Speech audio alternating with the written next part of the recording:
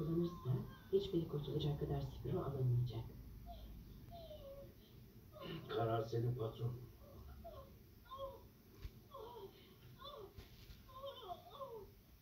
Önemli olan görev. Doğru olanı yapıyorsun.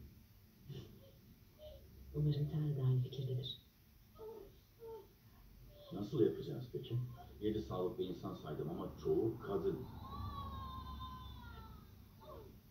Menolit kadını. Yani uysal, sakin, senin gibi değil yani.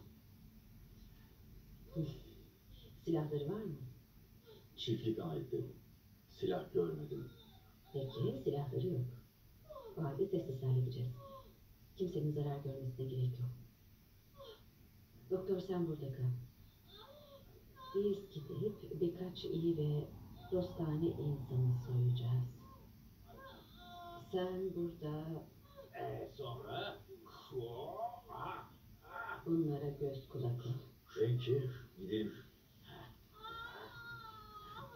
Hadi güzelim nefes al. Nefes alman gerek. Hayır hayır onu istiyorum.